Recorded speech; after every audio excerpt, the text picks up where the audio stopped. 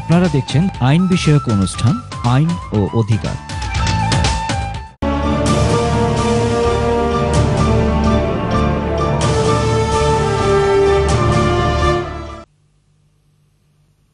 আসসালামু দর্শক, আবারও শুভেচ্ছা স্বাগত এনটিভির এই জনপ্রিয় অনুষ্ঠান আইন অধিকার থেকে। শুধু দর্শক, আমি বলেছিলাম যে দ্বিতীয় পর্বে আমি শুধু কল নেব। আমি আর কোনো আলোচনা কিংবা কোনো আপডেট নয়। আমি জানি যে হাজার হাজার দর্শক আপনারা লাইনে আছেন এবং আপনারাই আমাদের এই অনুষ্ঠানের প্রাণ। অতএব আমি কল নেব। হ্যালো সালাম আলাইকুম। হ্যালো আসসালামু আলাইকুম। আলাইকুম জি ভাইজান আমার একটা কুইক কোশ্চেন ছিল আপনার কাছে। আমি টিয়ার টুতে একটা কলেজে লেকচারার হিসেবে আছি। তো আমি যদি সুইচ করি অন্য কোথাও এই ক্ষেত্রে কি আমার লেবার মার্কেটে বা গুলো ফলো করতে হবে কিনা। কারণ আমি যখন প্রথমবার অ্যাপ্লাই করছিলাম তখন আমি লেবার মার্কেটে সেগুলো থেকে এক্সাম ছিলাম এটা কি চেঞ্জ অফ এমপ্লয়ার জি চেঞ্জ অফ এমপ্লয়ার না চেঞ্জ অফ এমপ্লয়ার ক্ষেত্রে লেবার মার্কেট আর আপনার স্যাটিসফাই করার প্রয়োজন নেই। আচ্ছা তার মানে আমার লেবার মার্কেট স্যাটিসফাইড করার প্রয়োজন না আমি জাস্ট শুধু এমপ্লয়ার চেঞ্জ করলেই হবে।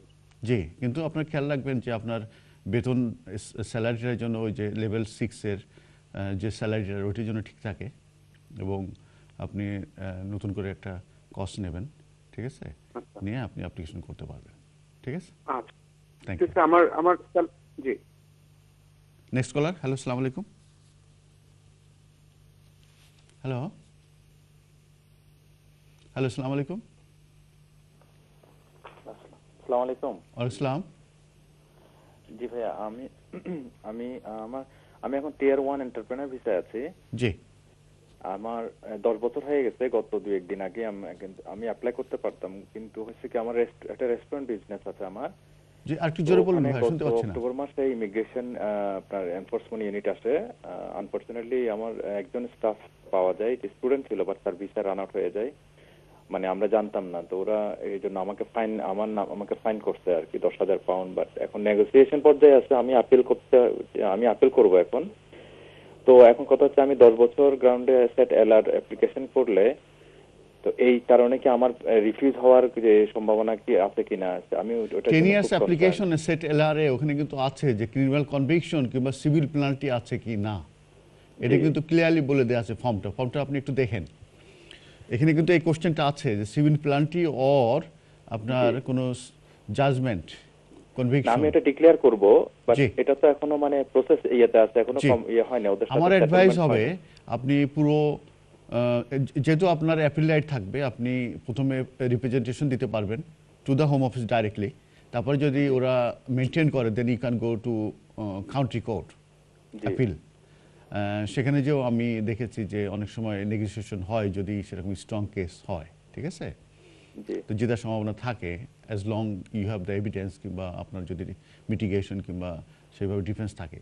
তো এই ক্ষেত্রে আপনি সেট এলআরএ অ্যাপ্লিকেশনের সময় ডেফিনেটলি আপনি কাভার লেটারে কিংবা ওইখানে যেখানে টিক দিয়ে আপনি বলতে পারেন যে পুরো ফ্যাক্সটা যে কি হলো যে you are running a restaurant business and then it was raid raided suddenly somebody caught এবং এই এলিগেশন আসছে এবং it is ongoing and I am defending myself and representative has made for to the home office and we waiting for the response এইভাবে দিয়ে সব কিছু clear করবেন। কারণ কি, ওরা কিন্তু সিস্টেমে পেয়ে যাবে যে এই আপনার নামের এগেনস্টে যে একটা সিভিল প্ল্যানটি অলরেডি ইস্যু হয়ে গেছে এবং সেটা অনগোয়িং চলছে। তো এটা দিয়ে দিলে অ্যাটলিস্ট ডিসিশনে পড়বেন না। আর যদি এখান থেকে যদি আপনি কাম আউট হয়ে আসতে পারে তাহলে তো আর কোনো প্রবলেম হবে না। ঠিক আছে ভাই? নেক্সট কলার হ্যালো হ্যালো আসসালামু আলাইকুম। ওয়ালাইকুম আসসালাম। যে ভাইয়া আমার কাছে একটা একটা জাস্ট একটা ছিল। জি। আমার ছোট ছেলে জন্মগ্রহণ করছে আর কি টু থাউজেন্ড থার্টিনে তো ওর হলো হাতে তিন- তিনটা ফিঙ্গার অ্যান্ড লেফট হ্যান্ডের এই যে হাত অনেক ছোট আর কি খাটো। তো হসপিটালে আমরা চিকিৎসা করতে আর কি। তারা টাইম টু টাইম অ্যাপয়েন্টমেন্ট দিতেছে তারা এক্সরে করতেছে ইয়ে করতেছে হাত ভেরি শর্ট আর কি। তো এই জন্য আমরা কোনো কিছু অ্যাপ্লাই করতে পারব কিনা ওর জন্য। আপনি কোন বিষয়ে আসছেন? ট্যাক্স ক্রেডিট আপনার স্ট্যাটাস কি? ট্যাক্স ক্রেডিট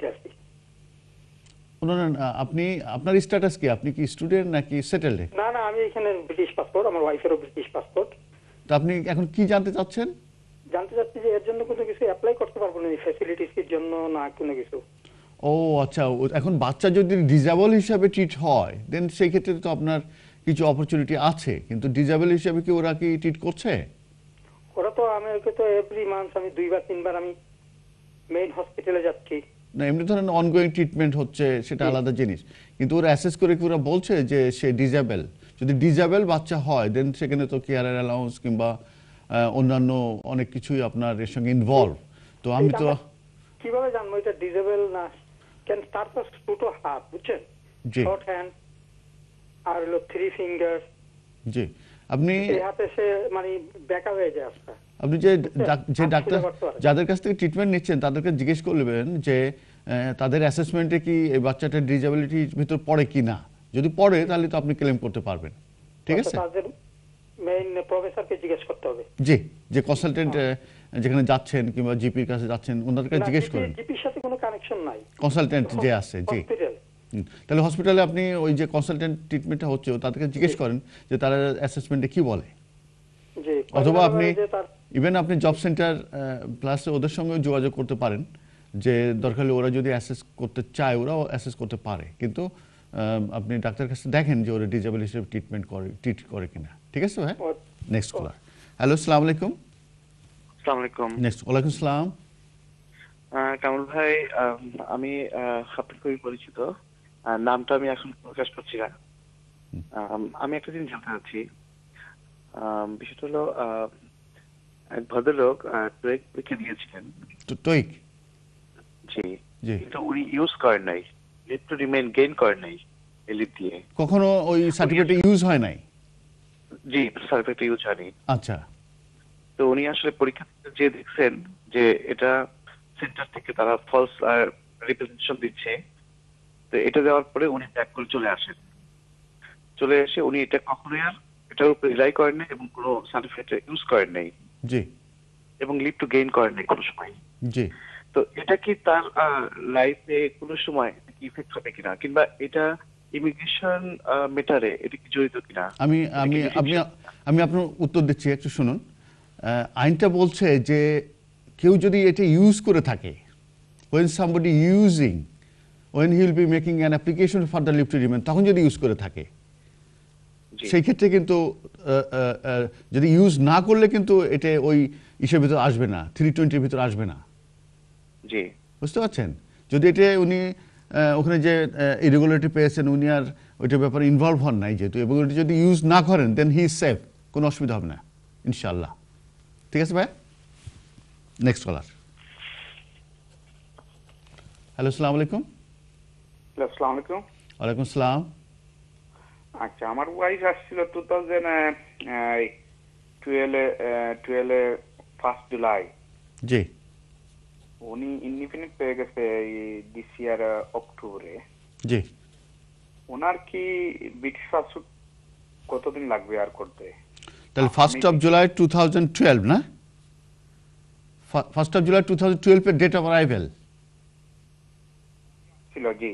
আচ্ছা আর আইএলআর পেয়েছে কবে? আসা পরে আসা পরে লাস্ট ইয়ার অক্টোবরে পাইছি আর এই ইন্ডিপেন্ডেন্ট অক্টোবর তাহলে হচ্ছে twelve July thirteen July fourteen July দুই বছর হলো ফোরটিন্থ অফ জুলাই দুই বছর। আর আপনার জুলাই জুলাই আপনার ফিফটিনে উনি অ্যাপ্লিকেশন করতে পারবে। First of July two thousand ফিফটিনে ওনার তিন বছর হয়ে যাবে ডেট অফ অ্যারাইভেল থেকে। ডেট অফ অ্যারাইভেল থেকে তিন বছর। আপনি তো ব্রিটিশ সিটিজেন নাকি? জি জি জি। ব্রিটিশ সিটিজেন ওয়াইফ হিসাবে রেসিডেন্সিয়াল কোয়ালিফিকেশন হচ্ছে থ্রি ইয়ার্স আর আদার্সের জন্য ফাইভ ইয়ার্স তো উনি ডেট অফ অ্যারাইভেল থেকে উনি এখন আইলারে আছে। তো আইলার সহ যদি ওনার তিন বছর হওয়ার যেদিন হবে ওনার হচ্ছে first of July two thousand ফিফটিনে ঠিক কিনা? ওদের first of July two thousand ফিফটিনে উনি অ্যাপ্লিকেশন করতে পারবে। আর রিকোয়ারমেন্টস তো আপনি জানেন B one or ESOL entry level three R life in test কোনো ক্রিমিনাল কনভিকশন থাকতে পারবে না। ম্যারেজ সার্টিফিকেট দিতে হবে যেহেতু থ্রি ইয়ার্সের বেসিসে করছে as a spouse of British citizen এবং ওনার যে আপনার প্রুফ অফ অ্যাড্রেস এই ধরনের যেসব কিছু ডকুমেন্ট থাকলে এগুলো দিয়ে অ্যাপ্লিকেশন করে দিতে পারলে। আর আপনার পাসপোর্টটাও দিতে হবে। ঠিক আছে ভাই? নেক্সট কলার হ্যালো সালাম আলাইকুম। হ্যালো আসসালামু আলাইকুম। ওয়ালাইকুম সালাম। আমি আমি বার্মিংহাম থেকে বলছি। ভাই আমি লাস্ট ফোর ফোর মান্থস এগো আমি যে আইএলআর এ গেছি আর কি আমার ওয়াইফ ব্রিটিশ সিটিজেন জি। তো আমার রিসেন্টলি আমার ফ্যামিলির সাথে কিছু সমস্যা হয়ে গেছে তো এটা ডিভোর্সের পর্যায়ে চলে গেছে। জি ভেরি স্যাড এখন যদি ডিভোর্স হয়ে যায় সেক্ষেত্রে কি আমার আইএলআর এ কোনো সমস্যা আছে? না। না, আপনি naturalized free হলে man. কোনো প্রবলেম হবে। কোনো অসুবিধা হবে না ইউ আর ফ্রি ম্যান তারপরেও অ্যাডভাইস করব যদি নেগোসিয়েশন করা যায় আর বাচ্চা যদি ইনভলভ থাকে এটা একটা সিরিয়াস ইস্যু তো না আমাদের কোনো বাচ্চা নাই। জি। আনফর্চুনেটলি যে এরকম একটা ঘটনা ঘটছে তবে আপনি যে আইলার পাওয়ার পরে ওই আইলার আর ফেরত নেওয়ার সম্ভব না। আমরা এরকম অনেক ইনকোয়ারি পাই যে দেখা যাচ্ছে আইলার হয়ে গেছে তখন হয়তো ওয়াইফ আসছে কিংবা হাজব্যান্ড আসছে যে আইলারটা ক্যান্সেল করা যায় কিনা। এটা সম্ভব না unless there are serious deception is involve সেই ধরনের কোনো ডিসিপশন কোনো কিছু যদি ইনভলভ না থেকে থাকে না normally it is not possible possible ছিল taken away from you. আচ্ছা তো আমি? মানে এক বছর পরে ন্যাচারালাইজেশন অ্যাপ্লাই করতে পারব। যদি আপনার ফাইভ ইয়ার্স টোটাল হয়ে থাকে including one year ILR then you can apply for indefinite treatment sorry for naturalisation as British citizen ঠিক আছে ভাইয়া। নেক্সট কলার হ্যালো হ্যালো সালাম আলাইকুম। ওয়ালাইকুম আসসালাম। ভাইয়া আমার একটা কোশ্চেন হলো যে আমি আমি এদেশে ব্রিটিশ সিটিজেন জি। বাই ন্যাচারেশন করার পরে হয়েছে আর আমার বাচ্চা একটা বাংলাদেশে হয়েছে এবং আমার ওয়াইফও বাংলাদেশে। জি। তো ওয়ার্কের জন্য বাচ্চা হওয়ার আগে অ্যাপ্লাই করছিলাম তখন আমার ইনকামের জন্য রিফিউজ হয়েছিল বাট এরপরে গত- বছর আমার বাচ্চাটা হলো পাঁচ মাস বয়স মাত্র। তো আমি আমার বাচ্চার জন্য বাংলাদেশ থেকে ব্রিটিশ পাসপোর্ট অ্যাপ্লাই করে দিচ্ছি জি। এখন আমার ওয়াইফকে আমি কীভাবে আনব? ইনকাম সাপোর্ট মিট করতেছে না বাই এনি হাউ তো আমি কীভাবে আনতে পারি। বাচ্চার প্রাইমারি কেয়ার হিসেবে আর কি আমি আনতে পারব বা আপনার কাছে একটু সাজেশন না সেটা সম্ভব না। একমাত্র স্পাউস হবে ব্রিটিশ সিটিজেন হিসেবে উনি অ্যাপ্লিকেশন করবেন ডিক্লারেশনের জন্য। তা রিকোয়ারমেন্টস যেটা ইনকামের ক্ষেত্রে eighteen thousand six hundred she must satisfy আপনাকে স্যাটিসফাই করতে হবে ঠিক আছে? আর অন্যান্য যে রিকোয়ারমেন্টস আছে সেগুলো স্যাটিসফাই করতে হবে। এইটিন থাউজেন্ড সিক্স হান্ড্রেড কোনো বিকল্প নেই। অথবা আপনাকে কাজ করতে হবে। একটা জব হলে কন্টিনিউয়াসলি সিক্স মান্থ এভিডেন্স লাগবে, আপনার পে স্লিপ লাগবে এবং আপনার যে net income you must reflect on your bank statement bank statement লাগবে লেটার ফ্রম এমপ্লয়ার লাগবে। অন টপ এই তিনটে ম্যান্ডেটারি ডকুমেন্ট ইনকামের ক্ষেত্রে। Plus terms and condition of the employment P sixty যদি থাকে, এগুলো। আপনি ইনকাম ছাড়া it is very very difficult to bring her here ঠিক আছে? নেক্সট কলার হ্যালো হ্যালো ওয়ালাইকুম সালাম। ভাই আমি স্টুডিওতে কথা বলতে পারব? হ্যাঁ জি আমি আপনি স্টুডিওতে কথা বলছেন সরাসরি আপনি প্রশ্নটা করুন। আমি একটা জিনিস জানার জন্য ফোন দিছিলাম। আমি আমার আব- আব্বা আম্মাকে এই দেশে ভিজিটে আনতে চাচ্ছিলাম। জি। এ, আমার স্ট্যাটাস হলো আমি ইন্ডিপেন্ডেন্ট আমি ফ্যামিলি নিয়ে থাকি আমার একটা বাচ্চা আছে বুঝছেন আমরা দুজনে ইন্ডিপেন্ডেন্ট আছে আমার আমার ওয়াইফের এখন আমার আব্বা আম্মাকে আনতে কি কি বেশি কি কি জিনিসগুলো লাগবে একটু যদি বলতেন। ধন্যবাদ আপনার কোশ্চের জন্য।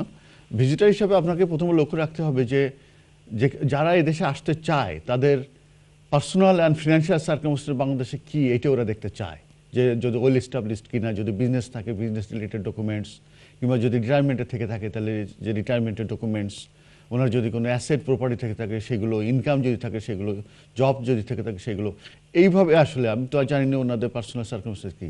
না ওনাদের পার্সোনাল ইয়ে যেটা একটু আমি আপনাকে শেয়ার করি। জি বলুন। ওনার ইয়েটা হচ্ছে যে আমি একটা অ্যাকাউন্ট করে ওদের স্টেটমেন্টটা একটু ইয়ে করাইছি বুঝছেন? এমনি ওনাদের তো বয়স সেভেন্টি ওর এইটি হয়ে গেছে। আমার বাবার বয়স। এইটি ওর মার বয়স সেভেন্টি জি। তাহলে এই ক্ষেত্রে আপনি যেটা করতে পারেন যে আপনি যদি ওনাদের টিকিটের পয়সাটা দিয়ে দেন সেই টিকিটের পয়সাটা ওনাদের ব্যাংক স্টেটমেন্টে রাখেন ঠিক আছে? আপনি রেমিটেন্স রিসিপ্টটা দেখাবেন। তো ওনাদের আসলে যে ওনারা বয়স্ক মানুষ ওনারা ওখানে থাকেন ওনার ভিজিটে আসবেন বাচ্চা এবং নাতিদের দেখতে ছেলে মেয়ে ছেলেকে দেখতে কিংবা ছেলের বাচ্চাদের দেখতে। তো আপনার এখান থেকে যেটা লাগবে আপনার অ্যাকোমোডেশন আপনার ফিনান্সিয়াল আপনার পে স্লিপ ব্যাংকের স্টেটমেন্ট তারপরে একটু সেভিংস যেহেতু দুজন আসবে ছয় সপ্তাহ কিংবা আট সপ্তাহ থাকবে ওই আট সপ্তাহের যাতে মেনটেন্যান্স আপনি কস্ট ওনাদেরকে দিতে পারেন ট্রাভেল কস্ট যদি আপনি দেন সেটা দেখাবেন সেটা দেখাই দেবেন, দেখায় অ্যাকোমোডেশন যদি অ্যানাফ আছে ওভার ক্রাউডেড না হয় সেটা দেখাবেন, আর যে আপনি টাকাটা পাঠাচ্ছেন ট্রাভেল কস্টের জন্য সেটা আপনি ডকুমেন্ট দিয়ে আমার মনে হয় অ্যাপ্লিকেশনগুলো ওরা যদি, ওনারা যেহেতু এল্ডারলি পার্সন আমার মনে হয় না তেমন কোনো অসুবিধা হবে, ঠিক আছে ভাইয়া? ধন্যবাদ আপনার কলেজের জন্য। শুধু দর্শক, আমাদেরকে এখন একটি কলেজে সরি আমাদেরকে এখন একটি কমার্শিয়াল ব্রেকে যেতে হচ্ছে। কমার্শিয়াল ব্রেকের পরে এসে আমি কিছু ডিসকাস করব এবং ইমেলের আনসার দেবো। সে পর্যন্ত আমাদের সঙ্গে থাকুন।